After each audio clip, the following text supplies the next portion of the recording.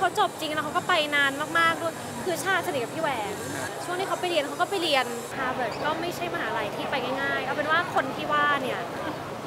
จบฮาร์วาร์ดหรือเปล่า เพราะฉะนั้นชาคิดว่าก็คืออย่าอย่าอย่าแบบนักเลงอะไรอย่างเงี้ยกลัวว่าคนไทยจะโดนโดนหลอกโดนแหวนหลอกว่าเอ้ยจบปริญญาโทมาอะไรเงี้ยเป็นห่วงไม่ไม่อะค่ะบ้านเขาสอนมาดีเขาไม่ทำอย่างนั้นแน่นอนเป็นห่วงสภาพจิตใจเขาไหม